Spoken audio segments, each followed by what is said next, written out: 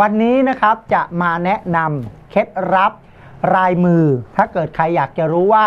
บนฝ่ามือของเราเนี่ยมีเส้นอะไรบ้างนะครับ ว่ามีลายมือเส้นชีวิตเขาเป็นยังไงดูยังไง เส้นสมองเป็นยังไงเส้นจิตใจ เป็นยังไงเรามาดูภาพกันเลยนะครับ ภาพแรกนะครับ เราจะแนะนำของเส้นชีวิตนะครับ นี่คือเส้นชีวิตนะครับ เส้นชีวิตก็หมายถึงคนเราเนี่ยจะดูในเรื่องของความเป็นอยู่ สุขภาพร่างกาย แรกเกิดของคนเรานะครับ เส้นชีวิตมันจะเริ่มต้นจากนะครับ นับจากบริเวณตรงนิ้วโป้งลงมาหาข้อมือนะครับ บางคนสั้น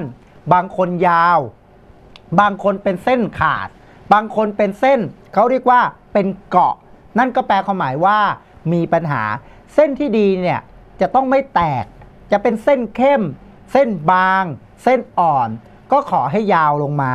ถ้าบางคนเส้นสั้น บางคนเข้าใจผิดคิดว่าอายุสั้น แต่จริงๆ แปลความหมายว่า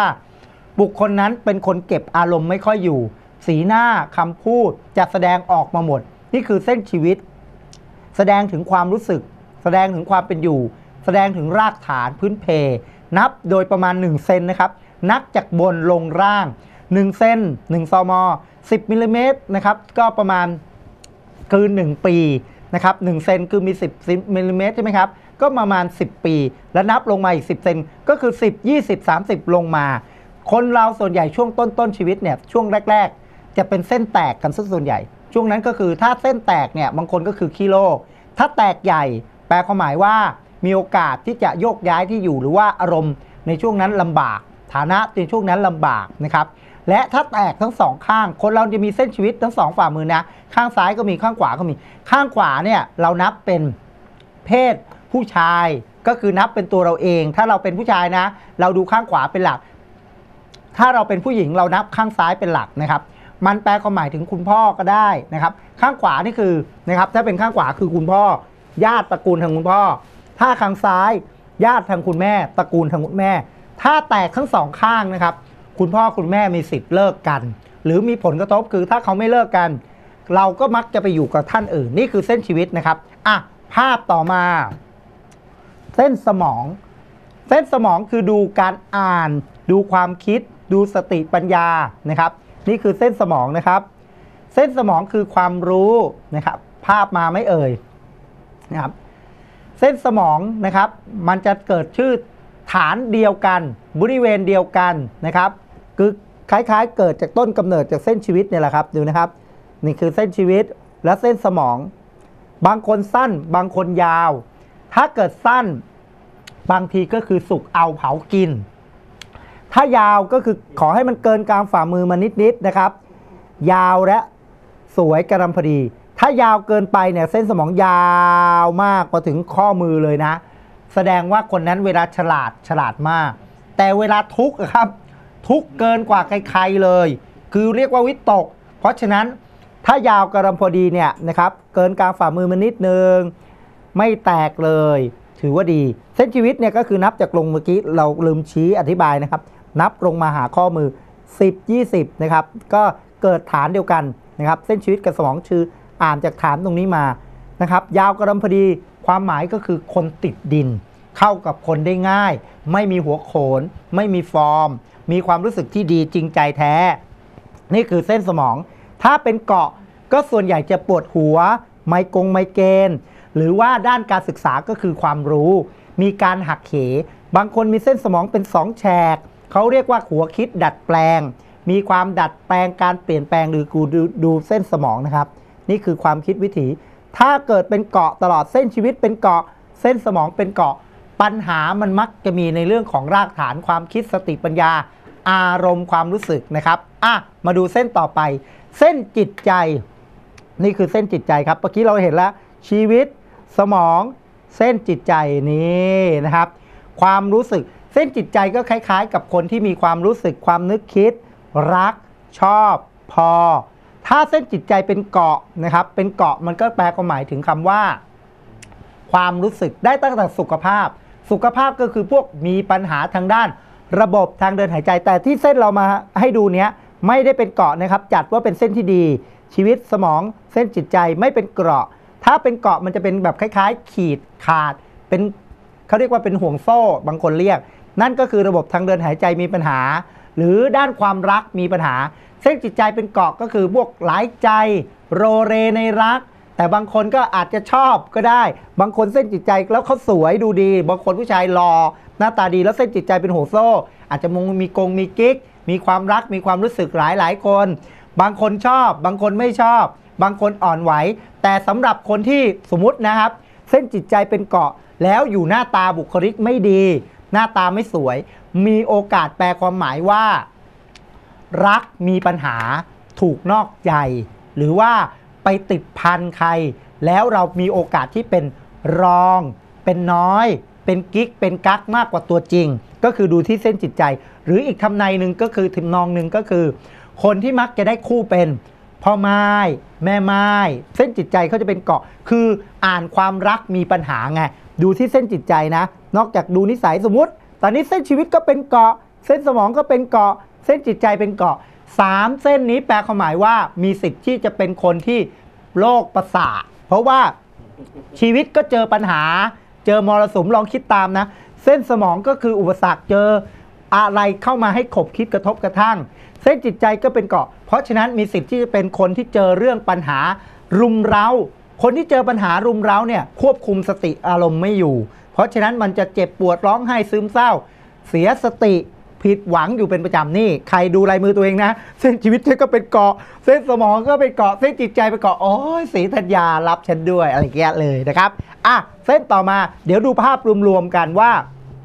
ความหมายของเส้นชีวิตเส้นสมองเส้นจิตใจเป็นยังไงนะครับ อ่าดูนะครับ นี่ อันนี้คือเพิ่มขึ้นมานี่คือเส้นเกียรติยศ เส้นเกียรติยศก็คือเส้นวาสนา เส้นวาสนานะครับ เส้นวาสนาคือเส้นเสา เส้นเกียรติยศคือเนินนี้ เราดูนะครับ โป้ง ชี้กลางใต้นิ้วกลางมานะครับถ้ามีเส้นอาทิตย์หรือเส้นวาสนาเนี่ยเขาเรียกว่าการเงินการทอง เราดูวาสนาก็คือดูทรัพย์ ดูเงินในกระเป๋า ดูที่ดินดูความรุ่งโรจน์ถ้าคนมีเส้นวาสนาที่เราหยิบยกมางี้ คือเส้นวาสนาที่สวยนะ เพราะในชีวิตจริงเนี่ยสั้นบ้าง ยาวบ้าง เล็กบ้าง ไม่ทะลุไม่พุ่งขึ้นเส้นสมอง แต่เส้นที่คนก็บอกอุ้ยลุงโลดคงเคยได้ยินนะครับ เส้นวาสนายาวเฟ้ยบางคนยาวไปถึงนี่เลย โอ้โห ได้ยินเป็นข่าวลือ แต่อาจารย์ก็เคยเห็นบ้างนะครับทางนี้มีเส้นเกียรติยศอีกนะครับเส้นเกียรติยศคูณด้วย2นะเท่ากับเส้นวาสนาคูณด้วย 2 เส้นเกียรติยศก็คือคนที่เป็นนายคน ปกครองคนมีความเป็นผู้นำนะครับ แล้วเส้นพุทธนี่เส้นพุทธถ้าใครมี 3 เส้นพร้อมกันเลยนะพร้อมกับเส้นชีวิตเส้นสมองเส้นจิตใจด้วย เดี๋ยวเราจะมีภาพรวมให้เห็นว่าทั้งหมดเนี่ยมันเป็นยังไงนะครับ นะครับ อันนี้คือเส้นพุทธก็คือสติปัญญา พวกคนที่มีเส้นพุทธนักข่าว นักหนังสือพิมพ์ครูบาอาจารย์เส้นพุทธคล้ายๆ คนที่สามารถติดต่อพูดคุยกับใคร แล้วแต่ก็ประสบความสำเร็จ ตอนนี้ใครมี 3 เส้นนี้ด้วยโอ้โหเนี่ยคนที่เราจะประสบความสำเร็จเป็นนายคนปกครองคน หน้าที่การงานเจริญรุ่งเรืองต้องมี 3 เส้นตัวนี้ และอีกเขาเรียกว่าเส้นไฮโซนั่นแหละ คือใครที่มี 3 เส้นนี้ลวดเลยนะ เขาเรียกว่าชนชั้น ผู้หลักผู้ใหญ่หรือว่า ผู้นำเจ้าของกิจการใหญ่ ๆ หรือว่ามีคนให้ความเคารพจะต้องมี 3 เส้นนี้ รวมกับเส้นชีวิต เส้นสมองเส้นจิตใจเป็น 6 เส้นนะ บนฝ่ามือต้องมีเส้นเด่นๆชัด 6 เส้นเหล่านี้เลยนะครับ เดี๋ยวจะมีภาพรวมไม่เห็น ลองเอาภาพรวมมาซินะครับภาพรวมว่ามีทุกเส้นเลยนะครับ เป็นยังไงนะครับอ่าภาพที่ 6 อะนะครับ อีกเส้นโอเค นั่นแหละครับ ภาพรวมที่มันจะให้เห็นด้วยว่าขึ้นมาเป็นอย่างนี้ครับ นี่นะครับอะ ภาพไปเห็นนะครับ นี่เส้นชีวิตเส้นสมองเส้นจิตใจนะครับ ก็คือเส้นวาสนา เส้นเกียรติยศ เส้นพุทธบนฝ่ามือของท่าน ถ้ามีอย่างนี้นะครับ 6 เส้นนี่แหละครับ เขาเรียกลายมือไฮโซ ลายมือระดับชนชั้น ผู้มีอันจะกิน เพราะว่ามีอะไรชีวิตดีอยู่แล้วเส้นสมองมีอยู่แล้วเส้นจิตใจ มีความการเงินการทองมั่นคง มีเกียรติยศการเป็นนายหรือว่าบางคนเรียกเส้นกระตันอยู่ เพราะคนที่มีเส้นตัวนี้ประสบความสำเร็จเขาจะนึกถึงบุพการี นึกถึงบุบุคคลที่เขาเรียกว่าสร้างให้เราเกิดขึ้นมานะครับนี่หกเส้นนะ นี่บางคนเขาเรียกตัว M บางคนเอ๊ะตัว M มันคล้ายๆมาดูยังไง นี่ครับ นี่นี่นี่แล้วก็ขึ้นนี้ตัว M คล้ายๆ ภาษาอังกฤษเห็นไหมดูนะครับปุ๊บปุ๊บนะครับ M เขาเรียกว่าบนฝ่ามืออย่างนี้นี่ครับสังคมชั้นคมที่มีเรื่องของการเงินการทองที่ดีนะครับอะ มาดูเรื่องของเนินกันบ้างนะครับ ภาพต่อมานะครับ เนินดูจากตรงไหนภาพที่ 7 เลยครับ เนินนะครับ ภาพที่ 7 นะครับ เนินเสาก็คือคล้าย ๆ เส้นเสาแหละนะครับ ก็เนินเสาก็คือพูดง่าย ๆว่า บริเวณตรงนี้ข้างล่างเนี่ยเขาเรียกเนิน เนินใครเต็ม นูน ก็เรียกว่า สมมุติคนที่เนินแฟบ ถ้าวัดเป็นการเงินที่แทนที่จะได้พันหนึ่งสมมติคนที่จะได้พันหนึ่งนะ เนินนูนนี่ได้พันหนึ่งเต็มๆ แฟบลงมาก็ 800 700 600 500จำนวนเงินก็ลดลง แต่คนที่ได้เนินนูนเลยนะ บางทีมันคาบคาบเกี่ยวนะ บางคนที่เนินนูนเนี่ยมันก็คาบเกี่ยวคล้าย ๆ กับคนที่มีบุญวาสนา แต่ก็คล้าย ๆ คนระโมบคล้ายๆกันเหมือนกันนะ แต่เราก็อาจจะแบบว่าเออวาสนาเขาชะตาสูง เพราะส่วนใหญ่คนที่เนินเต็มแต่ก็ต้องดูว่าเขาจิตใจดีหรือเปล่า ถ้าเขามีจิตใจดีเขาก็เป็นคนที่มีบุญวาสนามีอะน้ำใจแบ่งปันคนนู้นคนนี้นี่เนินนะครับเนินเสานะครับเนินพุทธก็คือใต้นิ้วก้อยนะครับข้างล่างเนี่ยข้างล่างนี่เขาเรียกเนินถ้าเต็มนะครับ เนินอังคารนอกนะครับ เนินอังคารใน พวกมีอังคารในสูงมากไม่ดี พวกโหด พวกดุนะครับ ตรงนี้มันจะนูนนะครับ คือคนกล้าหาญแหละนะครับ บางคนคือแบบเนินอังคารเนี่ยมันจะอยู่บริเวณใต้ตรงนี้นะถ้านูนมาก บุคคลที่เขาเรียกว่ากล้า แม้กระทั่งจะทำร้ายหรือสู้รบคนอื่น ถ้านูนเกินไปไม่ดี บางคนมีอมหิตมีความโหดดูนะครับ ใต้เนินตรงนี้ อังคารนอกก็คือเรียกว่าอุ้งข้างๆข้างๆฝ่ามือนะครับ เนินพุทธนี่ถ้าเนินพุทธสูงก็คือสติปัญญาคล้ายๆ เส้นแหละ เส้นก็คล้ายเนิน แต่เนินเนี่ยมันคือความนูน แต่เส้นก็คือตั้งตรงมาเลยนะครับ เนินความรู้จักอะลาต่อมานะครับ มาดูเส้นกากบาทกลางฝ่ามือกันบ้างนะครับ นี่กากระบาทกลางฝ่ามือนะครับ เส้นสัมผัสที่ 6 รางสังหรณ์นะครับนี่นะครับ ใครมีตรงนี้นะครับ เชื่อมระหว่างตรงกลางนี้นะครับ ถ้าใครเข้าไป Facebook นะครับแล้วพิมพ์คำว่าเส้นกากบาทกลางฝ่ามือนะครับ มีคนแชร์ไปเป็นพันเลยนะครับ หลายพันเลยนะครับ เอาคำคำทำนายคำเขียนของอาจารย์มงคล และรูปลายมืออย่างเงี้ยนะครับ ชัดเลยนะครับ มาจากอาจารย์มงคลรอดเที่ยงธรรมบางคนก็ให้เครดิต บางคนก็ไม่ให้เครดิตนะครับ เขียนคำทำนายลองเข้าไปอ่านนะครับ ใน Facebook ใน Google นะครับ พิมพ์คำว่ากากบาทกลางฝ่ามือ แล้วก็จะมีคำทำนายของอาจารย์มงคลรอดเที่ยงธรรมนะครับ สนุก .com ก็แชร์ไปแล้วให้เครดิตอาจารย์ แล้วคนอื่นเขาก็ก๊อปไปต่างๆ แต่อาจารย์ไม่โกรธนะ ไม่มีการฟ้องร้องไม่มีอะไรทั้งสิ้น ขอให้เขาได้ความรู้ไปแหละ ความหมายของกากบาทกลางฝ่ามือคือ เส้นสัมผัสที่ 6 รางสังหรณ์ คาดเดาเหตุการณ์ต่างๆ ได้แม่นยำนะครับ บางคนมีซิกเซนบางคนก็เรียกว่า สัมผัสที่ 6 ก็คือกายสัมผัสรู้สึก ตามองเห็น จมูกได้กลิ่น หูได้ฟัง ปากได้ลิมรสสัมผัสดีแล้วก็รางสังหรณ์ของตัวเราเนี่ยแหละครับทำให้อายุยืนนาน แต่ในเวลาเดียวกันทำได้แต่ความดี ใครมีเส้นตัวนี้นะครับ กากระบาทกรรมฝ่ามือทำสิ่งที่ไม่ดีไม่ได้ กรรมทันตาเห็น อาจารย์มีกากบาทกรรฝ่ามือ ตอนเด็กๆอาจารย์ยุอายุ7ขวบ8ขวบห้าวเหมือนกับวัยรุ่นเด็ก ๆ ทั่วไป อยากยิงนกตกปลาอาจารย์ก็ง้างหนังก็ติ๊กเลยครับ อาจารย์ก็ไม่รู้นะ อาจารย์ก็วัยรุ่นก็อยากจะได้นกอยากได้ชีวิตของเขาจะเอาไปปิ้งเอาไปกิน ยิงเข้าไปเลยครับ โดนแน่นอนปักโอ้โหนิ้วตัวเองครับ นี่เป็นแผลเป็นทุกวันนี้ อาจารย์ตั้งตันตรงนั้นมา ไม่กล้าทำยิงนก โอ้ยไปเถอะลูกไปเถอะไม่เอาอะไรละนะครับ เพราะว่าโดนมือตัวเองนั่นแหละครับ อาจารย์มีกากบาททำบาปไม่ขึ้น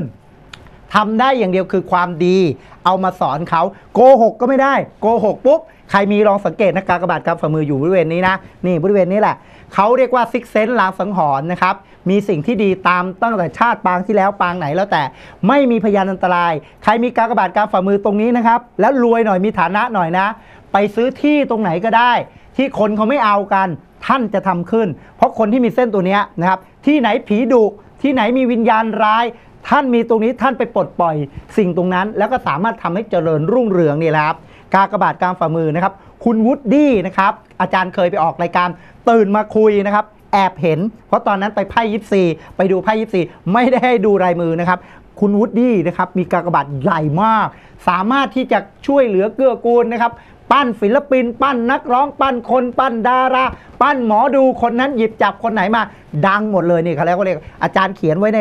นะครับ Google ด้วยนะครับ พิมพ์คำว่าเลยกากบาทอาจารย์หยิบยกวูดดี้เป็นหนึ่งในร้อยเอกของเอเอเชียเลยนะครับ ศิลปินท่านนี้นะครับ หยิบจับใครคนนั้นดังเลยนะครับอะ